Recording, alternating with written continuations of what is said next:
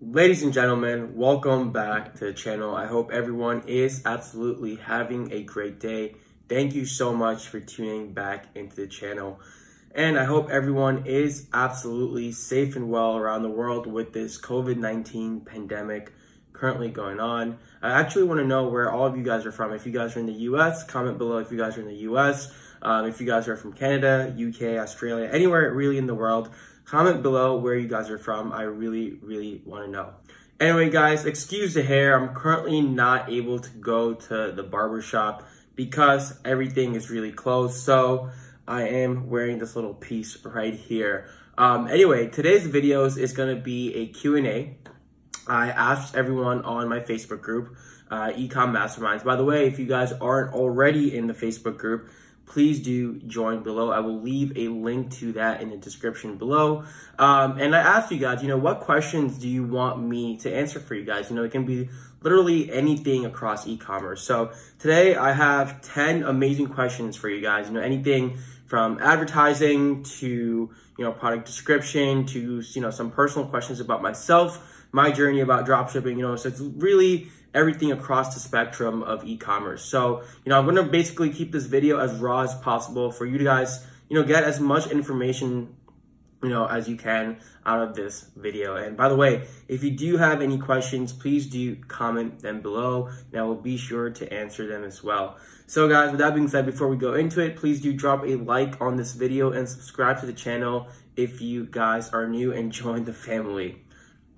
So the first question we have, and I do have my laptop right here, by the way, if you're guessing where I'm looking, um, is how long do I have after a product to advertise it before it's saturated, right? So basically what this person is asking is after you've done your product research, after you're done your product validation, right? And you have a product and, you know, how long do you basically have, you know, before it's saturated, right? Or before it's too late or before there's a lot of market awareness for that product. So first of all, you know, when you're doing your due diligence, when you're doing your research and validation, you know, you don't want to have too much of a gap from, from, from that period to kind of setting up your ads, right? You don't want like, two or three or four weeks. You know, maybe a week at the max is okay, but you should be basically utilizing that time frame as if, as efficiently as possible, you know, to set up your product page, right? To make sure your funnel is okay.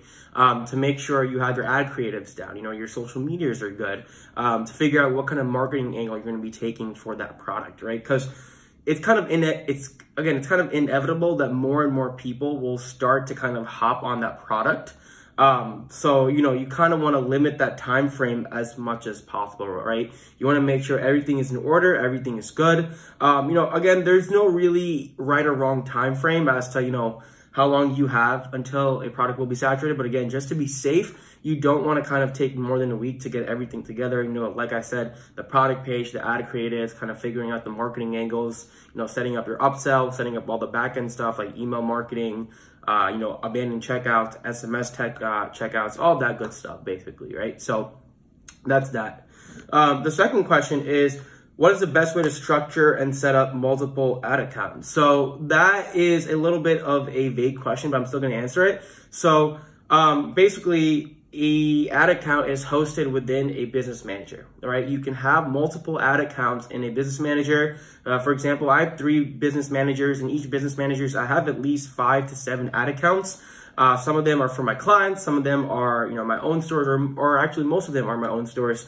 Uh, some of them are for my personal branding, uh, you know, for my services and stuff like that, for like infographics and stuff like that. Um, so yeah, that's kind of how the structure works. Um, what is the best way? There's no really best way. Um, if you guys want to actually segment your ad account into multiple pixels, I actually recommend an app called Trackify. It basically has a pure and a more accurate uh, kind of KPI representation because sometimes your Facebook ads manager uh, does misfire. I mean, well, your pixel does misfire, it, it glitches. So again, your Facebook ads uh, account may not have an accurate representation, you know, of all the KPIs and metrics and data points, right? That kind of dashboard, if you know what I'm talking about. So, you know, uh, Trackify is absolutely a great app to make sure everything's up to par and also to kind of, uh, you know, segment certain aspects of the pixels as well.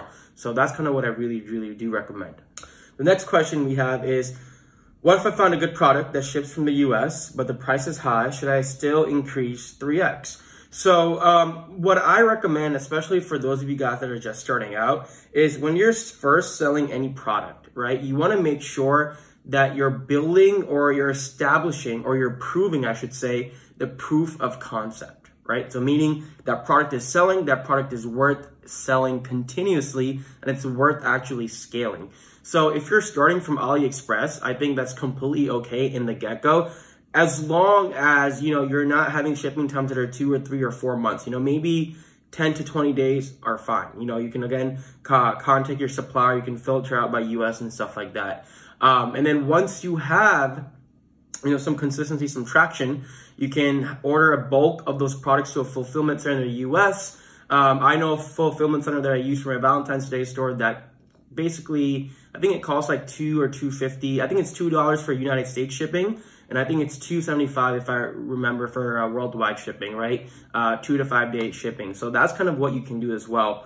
And then in terms of the 3x, the margins, any product you want at least a minimum of a 2 or 3x increase. That's kind of rule of thumb in dropshipping. Any product that you can't at least you know, sell more than 2 or 3x, you kind of really shouldn't sell. You know, you want to make sure that you're going to count transactional fees, cost of goods and services, and also your Facebook ad spend, which is going to be one of your biggest spends or one of your biggest costs, I should say.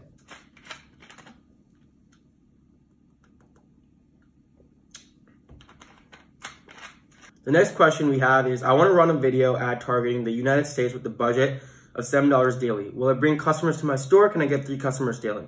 So again, I'm not sure how um, accurate or how kind of intentful that question was when it says $7 a day. Does, does it mean like only $7 a day spread out all the ad sets or does it just mean like $7 per ad set? So I'm kind of going to answer uh, basically both and give my input on kind of both parts of that question too because uh, that is a little bit unclear. So yes, you can run a video ad. You should be running video ads to any product um, that isn't as self-explanatory, right? Any product that basically has to further define its, you know, features, its benefits, its end result, right? You should be definitely selling to the US. I personally uh, prefer running ads to the big five if it comes to Facebook ads. That's, again, my bread and butter. For those of you guys that don't know me, uh, you know, United States, United Kingdom, New Zealand, Australia, and Canada, right?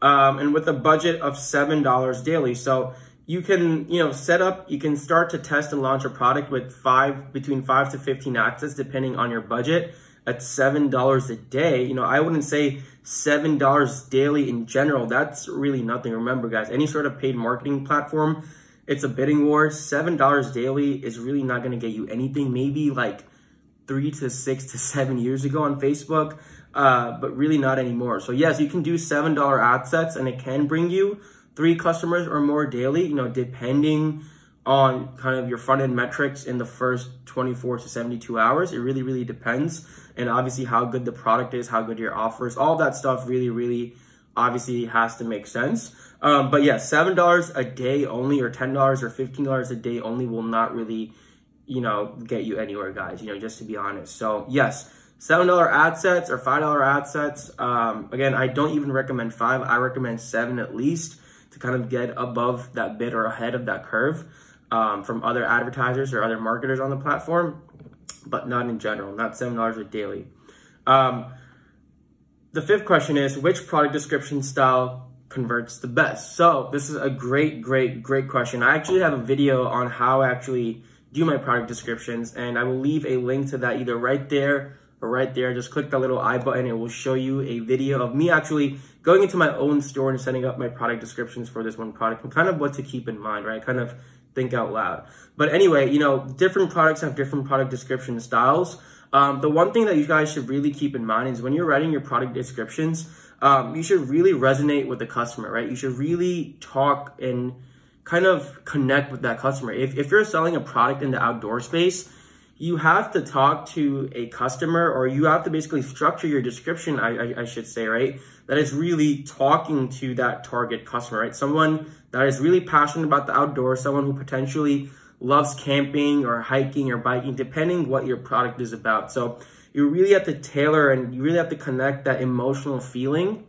Um, you know, to the actual customer, okay? And the best way to structure it is usually I have a blurb or two about what the product is, introducing it and kind of what it does.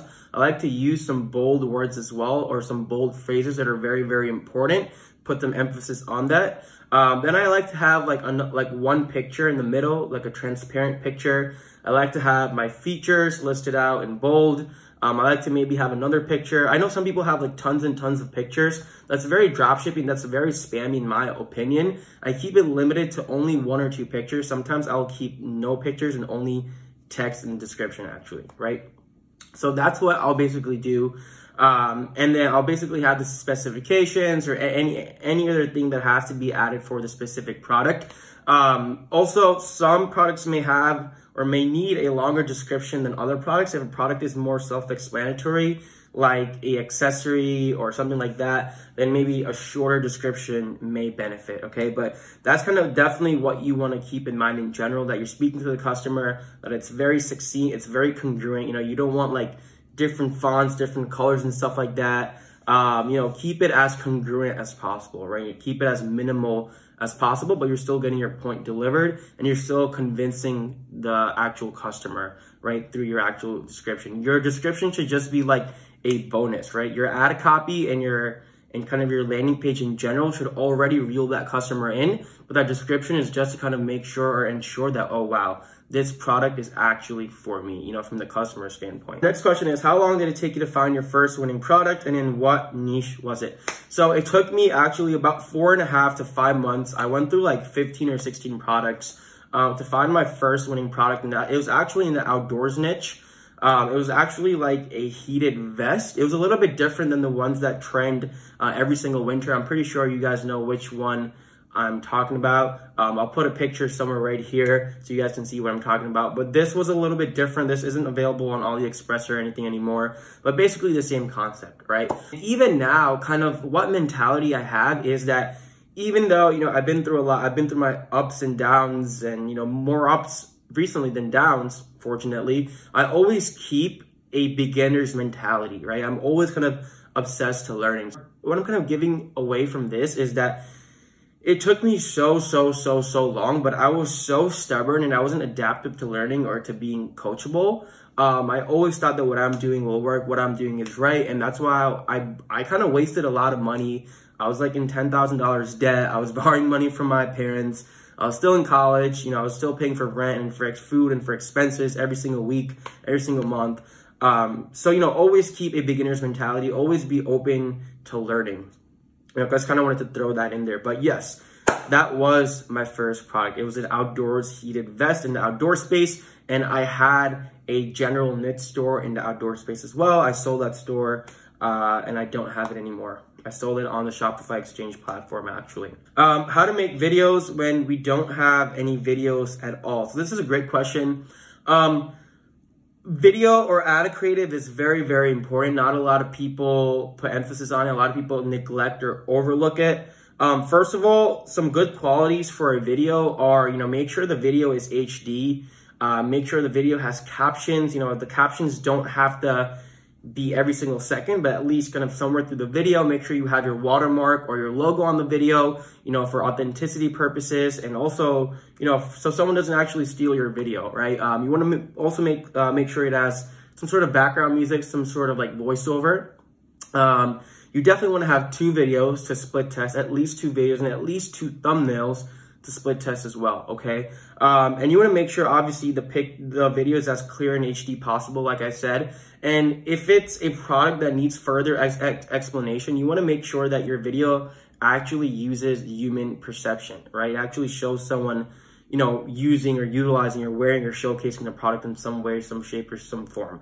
Now, to get actual video pieces, if you're a beginner and if you're just testing out, you can get video pieces from Facebook, from Google, from Instagram, kind of clip them together and just kind of add your own unique twist touch to it, like different background music, different captions, different color schemes and stuff like that on the actual video. And going back to my old point about the supplier, like I said, you know, once you have that proof of concept around the product, you can actually order the product to your house, right? And you can make custom videos for it. You, there's also um, different companies that you know have already these products in in in-house, or you can basically custom ship them the product, and they, they'll basically send the video to you. They'll shoot it in their studio or whatnot.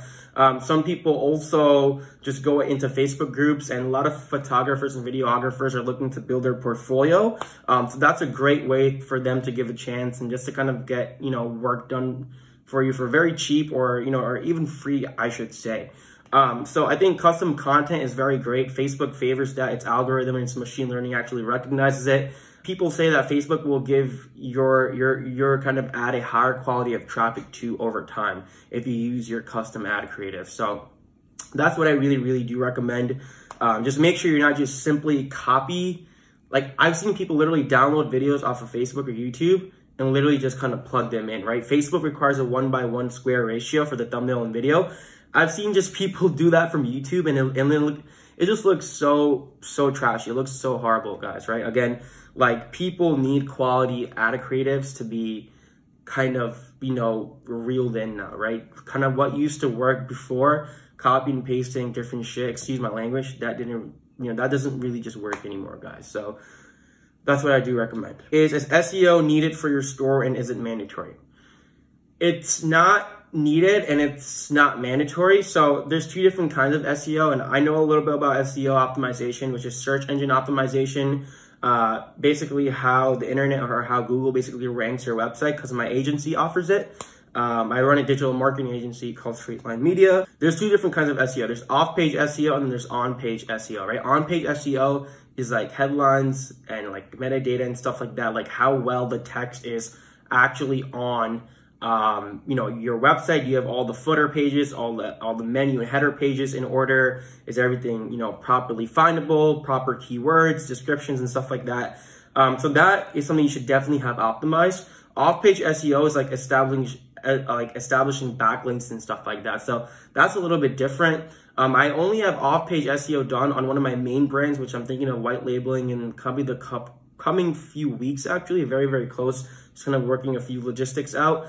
Um, yes, right, because you want to basically make sure your your site's going to be ranked on Google, especially if it's something long-term, something you want to have and build sustainable with quality revisiting lifetime customers. Yes, then off-page SEO is needed. You can get it done by an agency like mine, or you can outsource it, or you can really do it yourself. It is an extensive process. Off-page SEO is something that is a long-term return of investment. It builds up over time. All these you know, backlinks and stuff like that, um, you know, as long as they're quality, okay? So really be careful kind of who you go to. But I just don't think with the traditional dropshipping approach, especially if it's like a seasonal store, you don't really need like off-page SEO done. Our second to last question, guys, is what is the best color scheme for a Shopify store? Background, buttons, all that stuff. So this is another great question. I've seen a lot of stores that are just completely throwing me off. And why they've thrown me off is because depending on the type of store you have, right? So if you have a beauty and makeup store, um, you don't want to make your color on your website too dark and too bold, right? You want to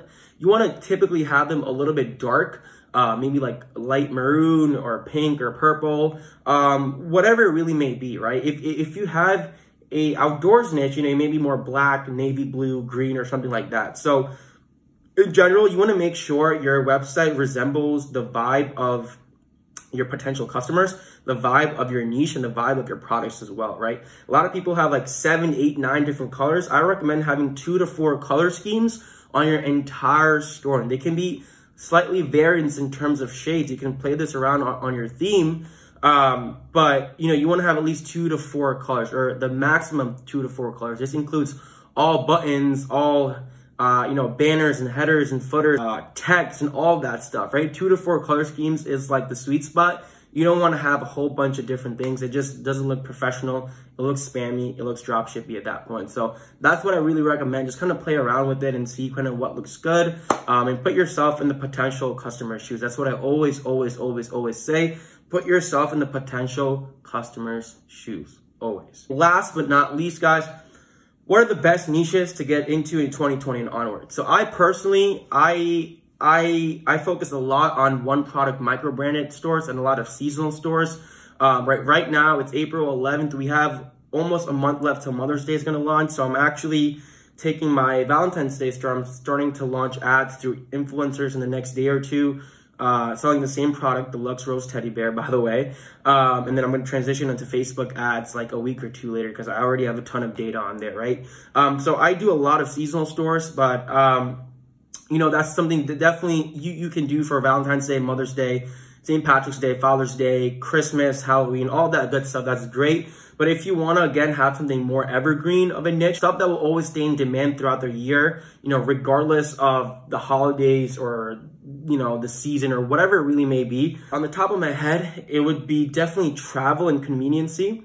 It would be definitely kitchenware, like, like sanitation, cooking, uh, baking, stuff like that. Uh, definitely arts and crafts and do kind of do-it-yourself stuff. Uh, definitely self-improvement, yoga, kind of meditation, health, wellness, fitness. Like I know I said a lot of a lot of like niches and general niches over there, but kind of stuff in that area. Um, I would personally not say the pet niche. It's just very, very, very, very, very, very, very, very saturated. Uh, maybe like a quick one product store on like a trending pet product or something like that. But I personally wouldn't really say the pet niche. And then the fifth one would be probably outdoors. Outdoors is definitely, definitely, definitely evergreen. There's a, a twist that you can take on all these five different categories or fields of stores you guys can really get into in 2020 and onwards that won't make it into a sustainable store and you'd really not make it look, you know, drop shippy. So those are the five niches I recommend that are evergreen, that have potential to grow this year and onwards. You know, you can sell products yearly on these different niches. That was the last question. I definitely want to do a Q&A like this, maybe once a month. So if you guys have any questions, please do drop them in the comments below, okay? And I will pick out, you know, a good like 8 to 15 questions depending on what kind of topics they are based upon. For any questions, any thoughts, any concerns, please do drop them in the comments below. I really hope this was informational for you guys. I really hope this provided as much value and insight as possible. Again, guys, please do drop a like and subscribe and join the family. I hope everyone continues to stay safe in this quarantine. Uh, you know, this too shall pass over. And uh, with that being said, guys, I will check you guys out soon. Peace.